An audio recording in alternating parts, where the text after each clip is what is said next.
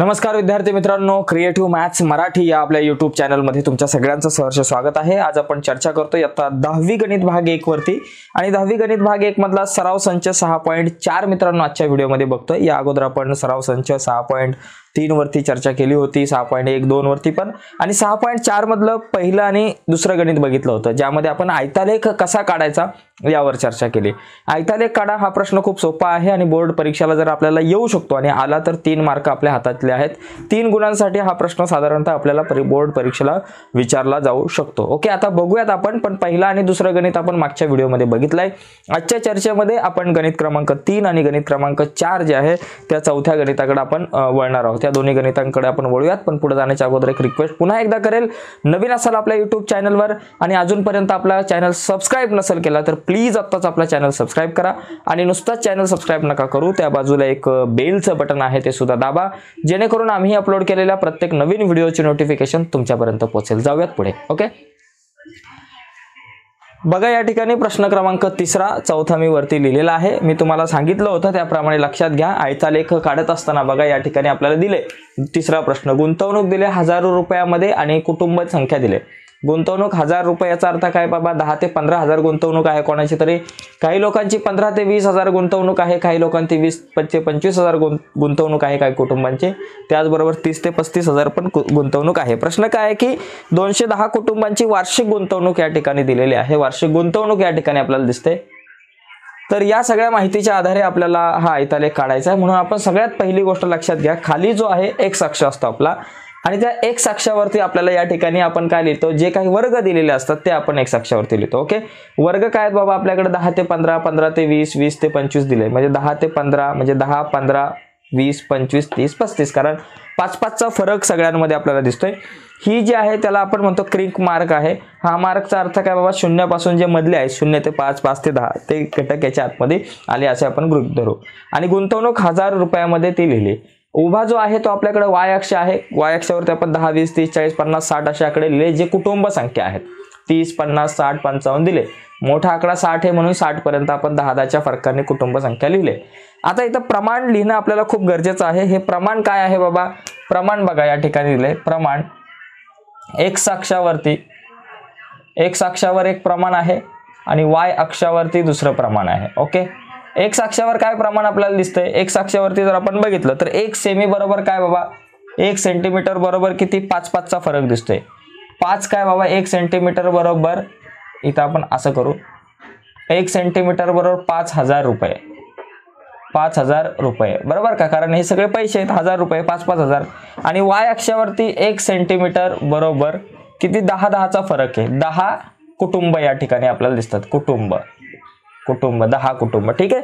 आता आपण हा आलेख आपण काढायला घेऊयात. हा आयतालेख काढायला घेऊयात. पहिला मुद्दा काय? दहा ते पंधरामध्ये तीस कुटुंब आहेत. दहा ते पंधरा हजारात तीस. तीस म्हणजे इथं मग इथं एक स्तंभ असा काढून घेऊ.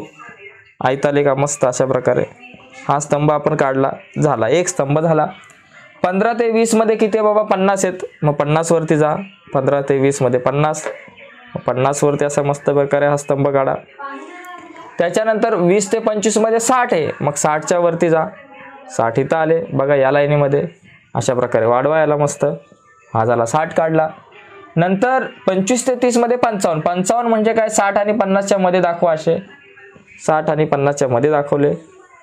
आणि त्याच्यानंतर तीस ते पस्तीसमध्ये पंधरा आहेत. पंधरामध्ये दा- म्हणजे दहा ते वीसच्या दरम्यान इथं अशा प्रकारे दाखवा. आता माझ्याकडं आलेख कागद नाही आहे त्याच्यामुळे मी इथं अंदाजे काही काही रेषा ओढल्यात.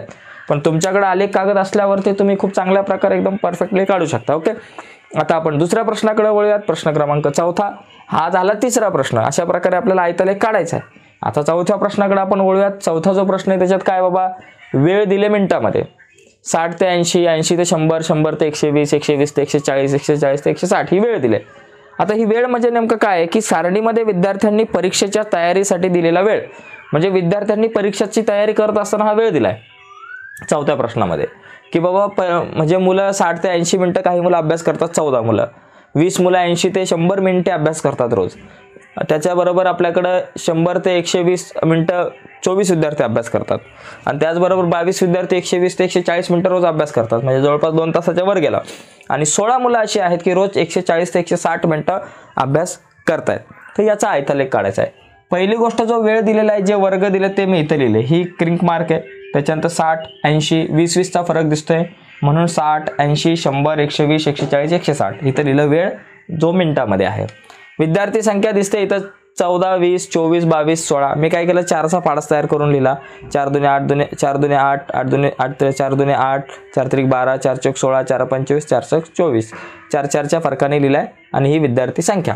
आता याच्यावर प्रमाण आपण सगळ्यात पहिली गोष्ट लिहू. प्रमाण. प्रमाण आपल्याकडे काय बाबा? एक्स अक्षावर.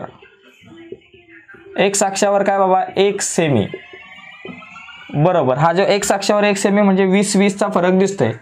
वीस मिनिट आहे. एक सेमी बरोबर वीस मिनिट आहे. आणि वाय अक्षावर जर आपण बघितलं वाय अक्षावरती आपल्याकडे एक सेमी बरोबर काय बाबा? आपल्याकडे चार चारचा फरक दिसतोय. चार विद्यार्थी.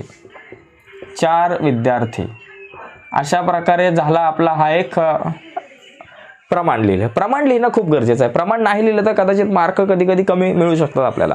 प्रमाण लिहिणं आयत्या लेखामध्ये खूप इम्पॉर्टंट आहे आपल्याकडं. आता यामध्ये बघा पहिला आपण घेऊ साठ ते ऐंशीमध्ये चौदा. साठ ते ऐंशीमध्ये किती? चौदा. मग ते बारा आणि सोळाच्या मध्ये येतील चौदा ओके? बारा आणि सोळाच्या मध्ये ठीक आहे?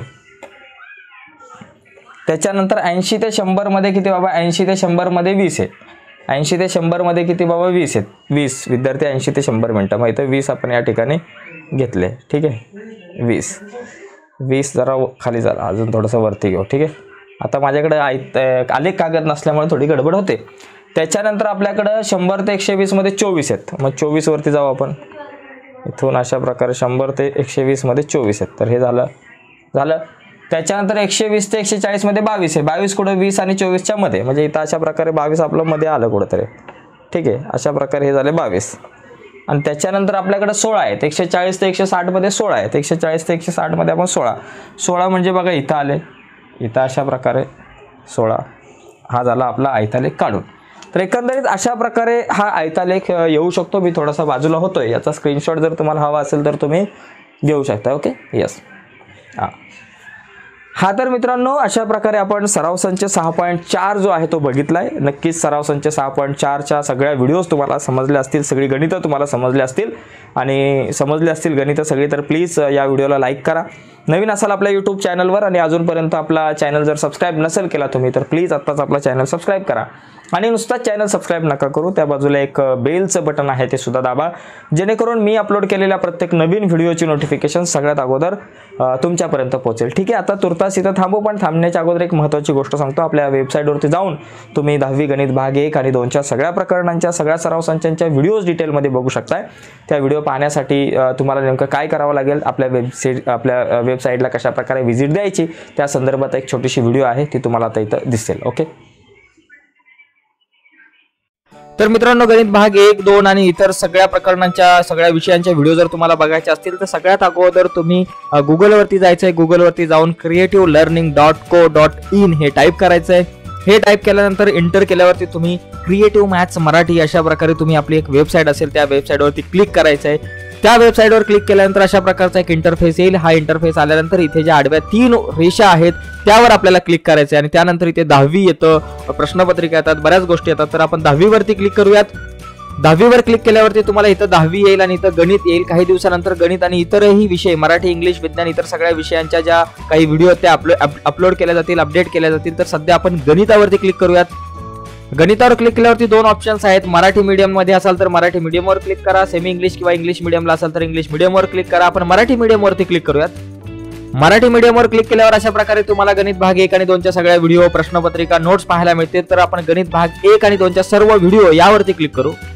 यावर क्लिक केल्यावरती आपल्याला अशा प्रकारे मराठी गणित सॉरी मराठी मीडियमच्या गणित भाग एक आणि दोनच्या सगळ्या व्हिडिओ पाहायला मिळतील. गणित एक आहे त्याच्यामध्ये पहिलं प्रकरण त्याच्या व्हिडिओ दुसरं प्रकरण त्याच्या व्हिडिओ सगळ्या प्रकरणाचे व्हिडिओ पाहायला मिळतील गणित भाग एकच्या. यानंतर गणित भाग दोनच्या सुद्धा सगळ्या प्रकरणांच्या व्हिडिओ तर मित्रांनो आत्ताच आपल्या वेबसाईटवरती जा मित्रांनो आणि गुगलवरती creative learning dot co dot in हे वेबसाईट जी आहे ती सर्च करून तुम्ही जा आणि या सगळ्या व्हिडिओ बघा. धन्यवाद.